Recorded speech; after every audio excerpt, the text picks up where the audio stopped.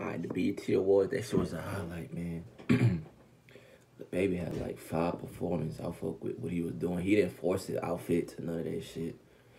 He had the the nigga had a lot of courage to do a damn gospel song for sure for sure.